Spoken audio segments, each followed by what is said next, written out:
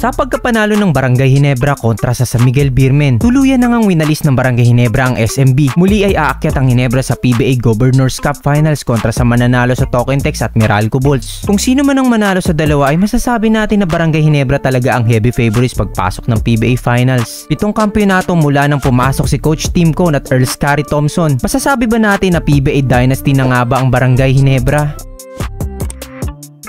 Naaalala mo pa ba ang Dynasty season ng Token Tex na ang hirap talunin ng kanilang lineup? Sobrang solid ng lineup nila ay nauwi pa nga sa pagbaril kay Alipik ng isang fan matapos matalo ang paborito nitong koponan. Binuo ito ni Jimmy Alapag, Jason Castro, Ryan Reyes, Jari Dillinger, Ronnie Del De Ocampo, Kelly William at Alipik. Ang solid 'di ba?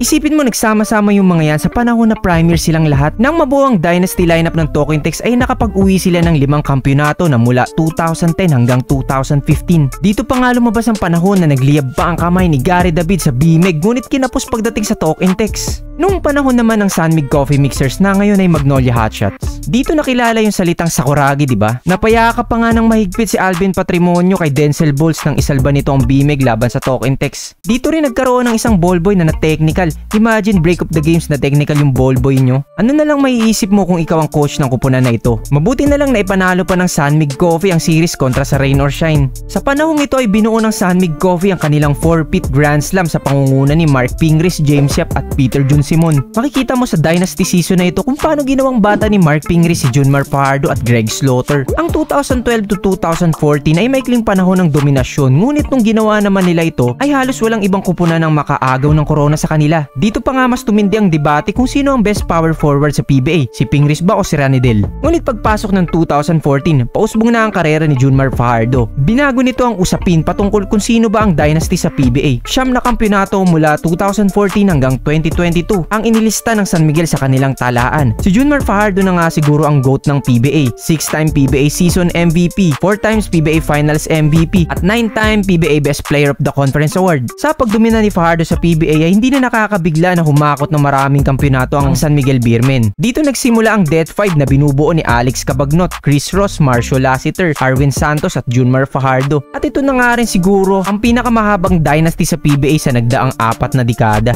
Barangay Hinebra. Maraming sama ng loob ang inabot ng Hinebra fans bago dumating sa sitwasyon na ito ang Barangay Hinebra. 8 years title drought. Naubos na nga yung lineup ng Hinebra na naglaro ng huling championship noong 2008 eh. Kinuha si Chris Ellis, James Forrester, Keith Jensen, Dylan Ababu at lahat ng ito ay hindi na ipakita ang talent na meron sila sa Barangay Hinebra. Grabing bully ang inabot ng Hinebra fans na sa tuwing ginugulpi ni Abueva ang Hinebra ay nauso pa ang nganga at kangkong. Ngunit lahat nga siguro ng pasakit ay may katapusan. Wala na sigurong sasarap pa sa araw na tinapos ni Brownlee ang walong taong kangkong na naisigaw na nga lang ni Mark Kagiwa na wala ng kangkungan. Ngayon ay may pitong kampyonato ng Barangay Hinebra mula 2016 hanggang 2022 at muli may tinanghal na season MVP galing sa ibang kuponan bukod kay Junmar Pajardo. Kinikilala na rin si Justin Brownlee na isang greatest import sa PBA. Sa pag-sweep ng Barangay Hinebra sa San Miguel Beermen ngayong Governor's Cup ay pinakita na naman muli ng Barangay Hinebra ang totoong dominasyon. Malaking pagsubok sa kanilang makakalaban laban sa final sapagkat ang top 10 players ng Barangay Hinebra ay pwede mong ilagay sa national team.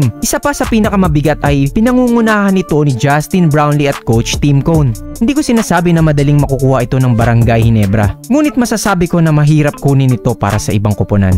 Kaya ikaw, Hinebra na nga bang dynasty ng PBA?